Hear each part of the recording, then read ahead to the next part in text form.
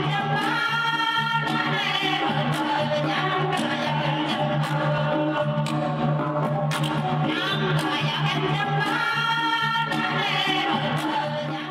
ញុំឈ្មោះសេនភៀបនៅភូមិតើនឃុំតើនស្រុកកូនមុំ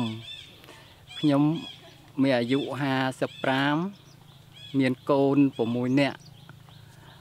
បើប្រុស5ស្រី1ហើយខ្ញុំដាំដំណាំ មានដូចជាតឡាចឃ្លោកអានងតសក់ហើយនឹង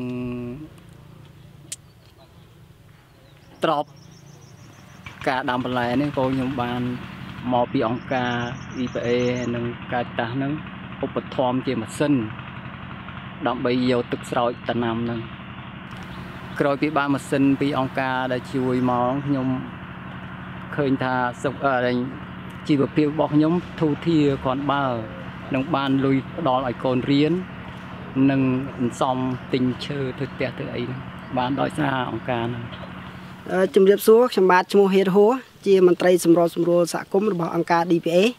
ហើយមួយវិញទៀតក្នុងនាមខ្ញុំជាអ្នកសម្របសម្រួលខ្ញុំបានអប់រំបណ្ដុះបណ្ដាលការងារបច្ចេកទេសដល់គាត់ហើយមិនតែប៉ុណ្ណោះយើង មានការតាមដានចុះបង្វឹករបស់គាត់ជារៀងរាល់ថ្ងៃផងដែរបាទជារៀងរាល់ពេលដែលយើងអាចចុះមកសហទំនាក់ទំនងមួយគាត់ទាំងការងារទុកដាក់រៀបចំដីទាំងពីការទុកដាក់ពូជទាំងពីការប្រមូលផលរបស់គាត់ផងដែរហើយមួយវិញទៀតយើងមានការសិក្សាអំពីទីផ្សារបាទយើងដើម្បីសិក្សាពីតម្លៃបន្លែឬក៏ពីតម្លៃនៅតាមទីផ្សារដែលគាត់អាចដើម្បីឲ្យតម្រូវការរបស់អតិថិជនឲ្យគាត់ដាំទៅត្រូវជាមួយទៅនឹងតម្រូវការទីផ្សារបាទ ហើយអ្វីមួយទៀតនោះអង្គការ DPA គឺយើងជួយក្នុងគម្រោងអាវត្តអាវត្តកសិកម្មសម្រុះនេះដើម្បីឲ្យកសិករនៅតាមជនបទដើម្បីឲ្យគាត់ទទួលបានទៅតាមតម្រូវការរបស់គាត់ហើយមិនតែប៉ុណ្ណោះគឺគាត់ជួយជីវភាពក្នុងគ្រួសាររបស់គាត់ឲ្យកាន់តែប្រសើរឡើងហើយមិនតែប៉ុណ្ណោះយើងនឹងពំនាំបច្ចេកទេសទាំងអស់នោះមកដល់កសិករនៅតាមជនបទដើម្បីឲ្យគាត់ទទួលបាននៅទៅតាមតម្រូវការរបស់គាត់ហើយក្នុងនាមខ្ញុំជាអ្នក